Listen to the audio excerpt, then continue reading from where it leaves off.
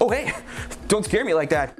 I totally wasn't using company time to play smartphone games or anything. Joe, corporate wants to know why there's $1,500 worth of charges on the company card for Candy Caper. Well, I don't know anything about that, Jess, but I do know I'm finished with my newest smartphone tutorial. Why don't we take a look?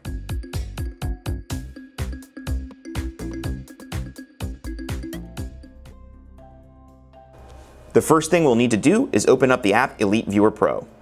Once the app is opened, you should see your cameras in the list here. If you do, go ahead and tap Playback. You'll notice the grid of four squares is empty because we need to populate it with cameras. Go ahead and tap the list icon in the top right. You're only able to use up to four cameras at a time, no matter how many cameras are in your system. And you'll notice this is true because we go to activate all the cameras at once and it will error out, displaying the same message I just described.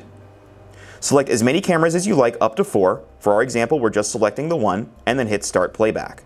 This will immediately begin to load all of the footage up to this moment from the same day. If you'd like to select a different day or time, tap the calendar icon in the middle of the screen, where you see a date. This will load up any days you have available footage on, as indicated by the film reel you see on the different days. You can also choose different footage types.